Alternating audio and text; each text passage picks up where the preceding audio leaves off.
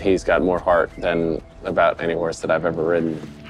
There's just something about him. He's just always been a trier, and there's something about him that's just always struck me. I think I'll probably go through life never forgetting that Vandiver was the horse that brought me there to the Olympic Games for the first time.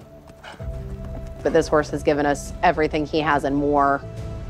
You know, he's, I think he's been to Kentucky like six times or something, you know, and the first three were on a bad leg that he'd had for 10 years. And so the fact that he came back and did what he did, you know, you really, you almost want to stop too soon versus one jump too late. People know who you are, you know, you're, you're made of the good stuff. And even though we've all believed it for years, like now other people see it.